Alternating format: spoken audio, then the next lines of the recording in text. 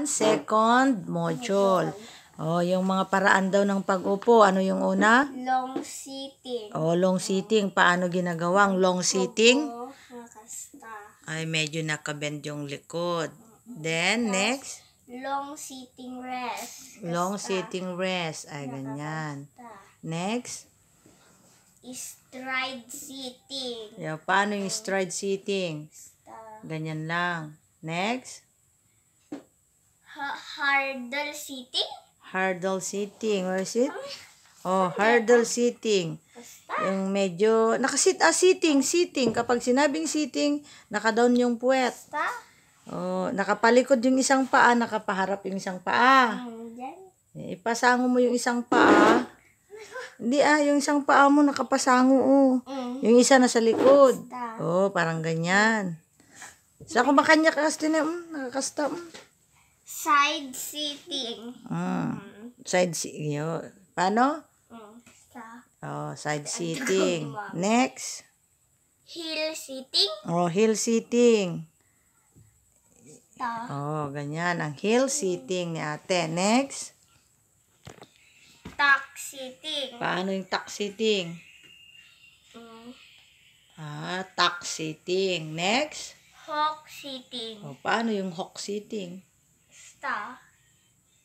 Oh, Medyo kumpo. oh next. Cross sitting. Paano yung cross sitting? Mm. Ah, yung... Frog sitting. Oh, paano daw yung frog? Ay, nakaano yung dalawang kamay mo nakababa. Very good ah. Next. Page. Oh, ang ginawa mo ay iba't ibang paraan ng pag-upo, di ba? Alin doon ang pinaka gusto mo, yung style ng pag-upo? Tijay, nakastudya sa akin, tapos nakastudya, kasi nakalimutan. Okay. Activity 1. Mm. Isagawa ang ibinigay na mga posisyon sa pag-upo. Gumuhit ng isang nakangiting muka kung matagumpay mong ginawa ito at gumuhit ng malungkot na muka kung hindi mo ito nagawa. Isulat ito sa sagutang papel. Oh, ginawa mo na sila, di ba? Eh, So, sa sagutang papel, ilagay mo doon yung page, then you answer. Ganun dan mo, ah. ang kakayahang pagalawin ang mga kalamnan at kaso, kasuan ay tinatawag na kalambutan. Flexibility. Mm, flexibility. Maaaring pagbutihin ang kalambutan sa pamamagitan ng pag-iinat araw-araw. Ang kalambutan ay makakatulong sa isang tao na gawin ang mga pang-araw-araw na gawain. Nakakatul nakatutulong din ito sa upang maiwasang magkaroon ng sugat sa katawan. Gawin mo yung sasabihin ko, umupo sa sahig. Mm. Iyoko ang kanang tuhod, di pa dumog. One. Very good. Next. Bahagyang isandal ang iyong likod paatras. Isang gear. Very good. Bumalik sa unang posisyon. Niya. Awan. Mm. Ngayon naman ay iyoko ang iyong kaliwang tuhod. Yung kaliwang tuhod mo. Awan. Next. Bahagyang isandal ang iyong patras. Medyo ilyad. Then, bumalik sa unang posisyon. Very good. Nagawa mo ba ng maayos? Oh, nagawa mo naman lahat. Kaya 1 to 7, lag, star ang sagot mo.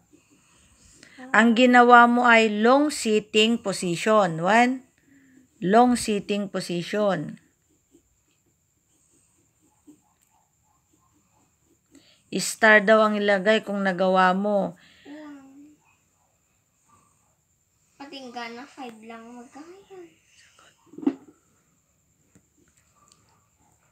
And then, oh, tama na, 1 to 5. Lahat, oh, star ang nilagay mo. Maperdin. O, tama yan. Humanap ka daw ng rubber or garter.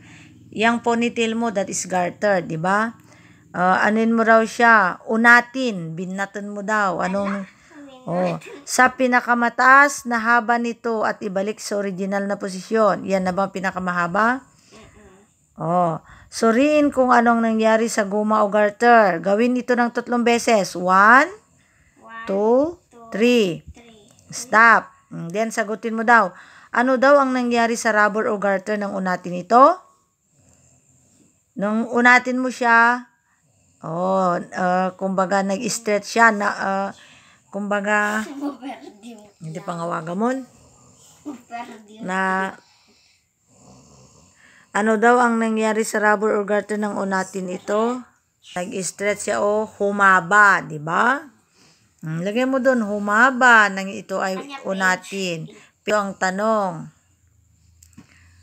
maari daw ba tayong makagawa ng pag-uunat sa ating katawan? Gaya ng mga ginawa mo kanina. Nagawa mong mag-unat-unat?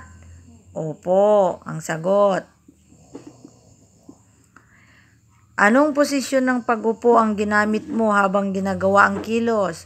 Habang ginagawa daw ang kilos, ano daw ginamit mo? Long sitting position.